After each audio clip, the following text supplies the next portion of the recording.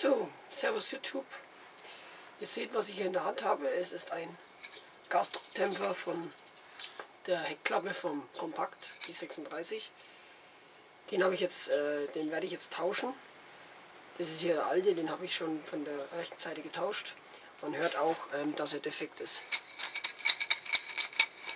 Ja, äh, der kommt jetzt weg, weil im Sommer hat er äh, die Heckklappe noch gehalten. Jetzt kommt der Winter.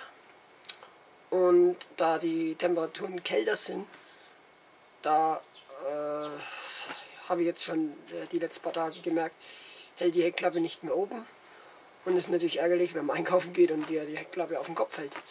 Ja, ähm, da habe ich jetzt hier äh, einen neuen, oder ich, beziehungsweise äh, kauft man ja immer zwei Stück. Einen habe ich ja schon montiert. Und den montieren wir jetzt zusammen und dann zeige ich euch mal, wie das ganz einfach vonstatten geht. Hier seht ihr den Gasdruckdämpfer. Den werde ich jetzt tauschen. Der hat hier unten, sieht man schlecht, aber ich werde euch mal kurz ranzoomen. Der hat hier äh, eine Spange, die muss man nach außen drücken mit dem Schraubenzieher. Wenn es jetzt bei dem alten Dämpfer abbrechen sollte, wäre eigentlich egal, solange er beim neuen Dämpfer nicht abbricht. Ja, dann fangen wir mal an, das rauszumontieren. So, jetzt machen wir das mal raus. Äh, vorab, ja, wenn ihr alleine arbeitet, so ein Gasdruckdämpfer alleine äh, hält euch die Heckklappe nicht. Wenn ihr natürlich den jetzt rausmacht, könnt euch die Heckklappe auf den Kopf fallen. Deshalb stützelt irgendwie ein altes Holz oder so unter die Heckklappe. Jetzt muss ich den Spanner nochmal aufmachen. Also so zumindest, wenn er jetzt ausrutscht, ist auch egal. Dann machen wir das mal ab. Ja, so sollte es natürlich nicht passieren. Ich lasse den Schraubenzieher am besten drin stecken. Oder ich mache es gleich raus, die Scheiße. Ist ja egal. So, so einfach geht das.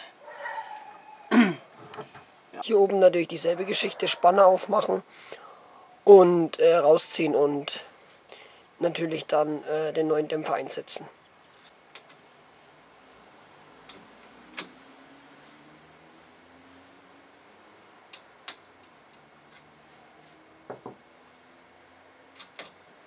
Jetzt ist die Heckklappe fertig.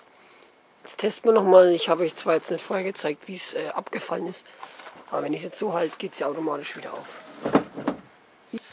Ja, jetzt habe ich das äh, Video gemacht, wo ich die Gasdruckdämpfer tausche.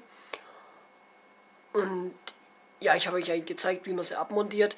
Einmontieren ist eigentlich ganz einfach. Ähm, ihr braucht nicht mal die Spangen öffnen. Ihr steckt die neuen Dämpfer einfach bloß auf diese kleinen äh, Kugeln drauf und dann rasten die von allein schon ein. Und somit ist dann der ganze Um- und Ausbau schon geschehen.